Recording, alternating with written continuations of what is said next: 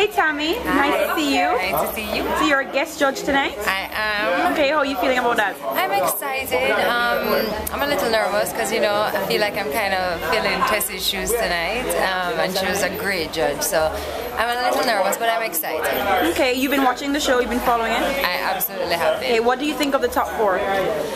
I think I think that the top four are good. I'd like to really see them, you know, shine more and, and you know really come out of their shells and, and not do so many imitations, but you know be themselves. So that's what I'm really looking for tonight and hoping to see like really emerge. Okay, any advice for any particular contestant? Yeah, Kind of like or, or general advice for all My of them? general advice is always the same. I think, you know, just come out there and be yourself. Like, that's the most important thing. Because if you're going to be an imitation of somebody else, then you're pretty useless. So be yourself and um, All right, well, we're looking forward to your comments today. thank you.